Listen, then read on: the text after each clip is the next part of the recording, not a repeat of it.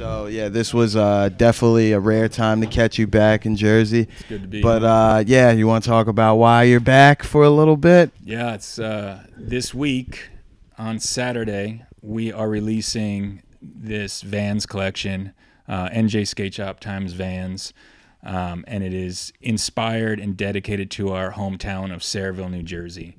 Um, the name, the town got its name from the Sayre and Fisher Brick Company, and a lot of people don't know this, but you know it produced like over six billion bricks. It was the largest brick manufacturer in the states for you know from the 1800s until 1970, and from Richmond, Virginia to Richmond, Maine, these bricks built everything. Like the first time the World Trade Center um, got bombed, they were pulling Sayre and Fisher bricks out. The Wow. like the Statue of Liberty base built with Sayre and Fisher bricks. Like That's crazy. The Empire State Building. Like these bricks have built everything. And as a skater, that sound of bricks is just very unique. The sound of wheels rolling is very unique, but goddamn, when it's on bricks, it's like everybody can relate Yeah. to that.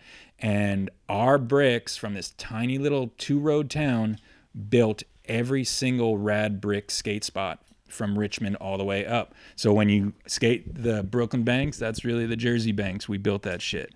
And you know, like the the Afro banks in Philly and the old hospital banks in Boston, all with Sayre and Fisher bricks from Sayreville, New Jersey. Wow. And people don't know that story. And so for us to get the opportunity with Vans to tell that story and to let people know um, has been really special. So like, there's three shoes. They're all brick embossed, and then there's like a photo book that's just all ill um, brick East Coast skate photos, and then on the same day the shoe releases on the 20th, RB Umali made like an insane seven minute edit for Thrasher that starts with Steve Caballero from Future Primitive and ends with Dick Rizzo from Quasi's mother video Damn. and covers 30 years of East Coast brick skateboarding. And it's insane. It starts with the Artifacts track, um, Brick City Kids, and it just goes. And I don't know, man. I, I just I I'm just really proud that we were given the opportunity, and you know, my partner Steve Leonardo like really drove this thing home. Shout out Steve, Love man. Steve. Love And, Steve. Like just I don't know. It's dope, man, because it's like any skate crew that you meet anywhere feels that their scene is the most important scene in the world. You know, and, Most and they're not wrong because it's their scene, you know, and it's like you- can go to Madagascar, you can go to Paris, like that they feel like their scene is the shit. And, you know, we used to skate a food town on Route 9 next to a porno theater, next to a McDonald's. And like, Everything you need. Dude, I remember us like making fun of people coming out of the porno theater when they were going to watch When Harry Ate Sally. And like, that was our crew, you know, like our buddy Troy Jankowski and like so many other heads that like came out of that area. Shannon McFadden, rest in peace. And like, we had a crew, and like our little Sayreville crew was inspired by those bricks. And here we are, you know, 30 odd years later, 18 years as NJ, like getting a chance to tell the Sayreville skate story. So um, it really means a lot to us, you know, and like I can't like thank the people at Vans for giving us the opportunity. It's, it's huge. Oh, thank you, Vans. Thank you, dude, for fucking putting on though, because like, I think especially growing up skating in Jersey, it was like, it's cool to have a colorway that like, well, number one is officially like stamped like NJ. This is our shit, but definitely when you think Jersey, it's like this shoe kind of it's everything, like for sure. Like For sure. I think the the color, what it's based on with the brick, all that. It's like like you guys hit the nail on the head for sure, man. Like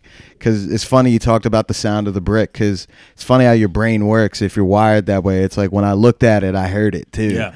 yeah, it's, yeah, man, it's it's super like, dope. I've got a recording of like seven minutes of only like wheels on bricks. It's like white noise. It's like it's beautiful. Yeah, man. Even like thought about times I've slammed on brick too. Like, Yeah. like, all the memories, yeah, they come back, dude. Yeah, nah, I'm super fucking stoked on this.